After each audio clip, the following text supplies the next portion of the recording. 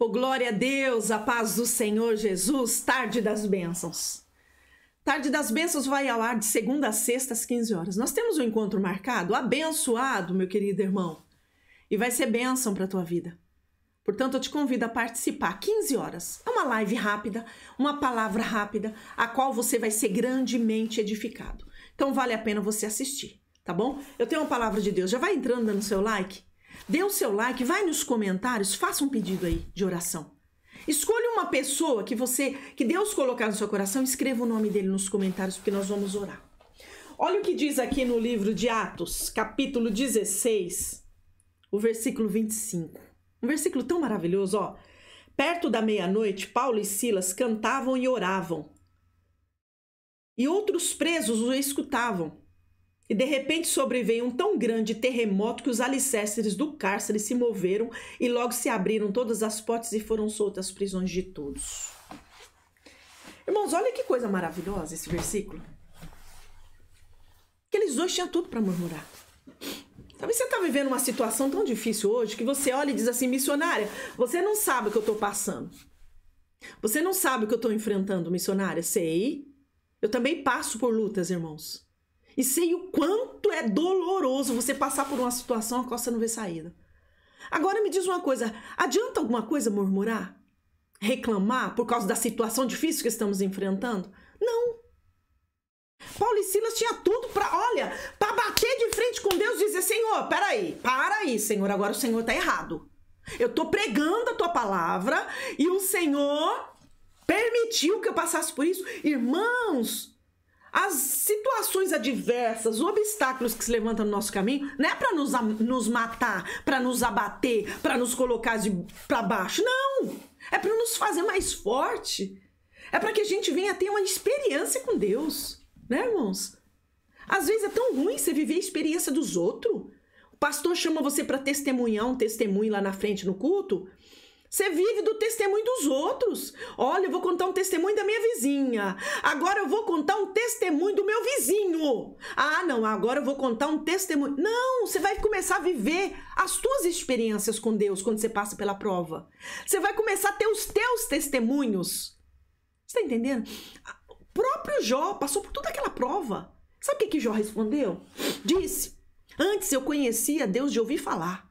Hoje os meus olhos viram ele só foi entender isso quando ele passou pela prova.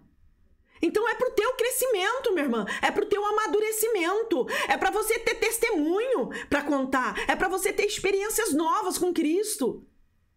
Paulo e Silas chegou perto da meia-noite, amarrado com seus pés em tronco, já tinha tomado uma surra, chicoteadas, a Bíblia diz. Estava com certeza estava é, é, sangrando mas, perto da meia-noite, começaram. Todo mundo quieto, aquele silêncio. Sim, eu amo a mensagem da cruz. Até morrer, eu a vou proclamar. Levarei eu também minha cruz, até por uma coroa trocar aleluia. Ó, Paulo e Silas engrandecendo o nome do Senhor no meio da tempestade. Sabe o que aconteceu? Eles que estavam amarrados, seus pés em tronco. O, o carcereiro lá dentro guardando eles. Houve um terremoto, a estrutura daquela prisão foi abalada, o poder de Deus desceu sobre aquele lugar. Sabe o que significa isso? Quando você louva diante da luta, Deus arma emboscada contra os teus inimigos. Quando você adora o Senhor diante da tribulação, o Senhor te honra. Quando você exalta o nome do Senhor diante de uma perseguição, Deus te exalta ali naquele lugar para mostrar que Ele é Deus. Adore, minha irmã. Tá com dor, adore.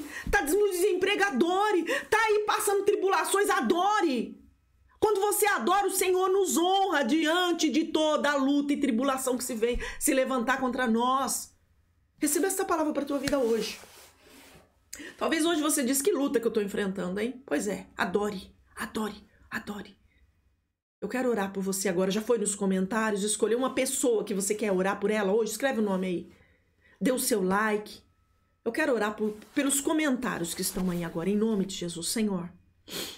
Eu te agradeço, meu Paizinho querido, por tudo que o Senhor é, por tudo que o Senhor tem feito, por tudo que o Senhor vai fazer. Vai colocando tua mão de poder e glória, repreendendo toda a seta, todo levante do inferno, toda armadilha do diabo, todo projeto de Satanás, toda opressão maligna agora. Em nome de Jesus, eu não sei qual a luta que essa pessoa está enfrentando, mas Senhor, ela vai adorar o teu nome diante desta prova. E o teu nome, Senhor, vai mexer nas estruturas. Aleluias! Assim como fez com Paulo e Silas. O oh Deus Muda a situação de vida dessa pessoa. Ela colocou um nome nos comentários agora. Ela, ela sentiu de orar por alguém. Eu coloco esses pedidos que estão nos comentários agora no teu altar. Em nome de Jesus, esse nome que essa pessoa enviou agora. Eu oro agora em nome de Jesus. Visita, entra com a salvação, entra com a providência que, ele, que essa pessoa precisa. Em nome de Jesus eu oro. E já agradeço, Senhor, porque eu sei que grandes coisas o Senhor fez através desta live. Em nome de Jesus, Pai. Obrigado, graças a Deus. Daqui a pouquinho, às 16 horas, vai entrar um vídeo você tem um minuto.